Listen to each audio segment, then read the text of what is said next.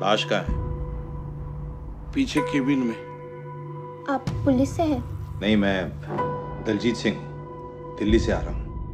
भेड़ियों उसे खाया तो था मारा नहीं था। किसी ने उसे गोली मारी है। आप यहाँ पे मैनेजर हैं? जिस रात आयत का खून हुआ तब तुम कहाँ थे? यहाँ किसी और से मिलना जुलना था उसका। जिस दिन वो गायब हुई उस दिन यहाँ हुआ क्या था? क्या लगता है आपको? जिसने मारा है ढूंढ लेंगे आप। उस रात हम सब यहीं बैठे थे ताश खेल रहे थे।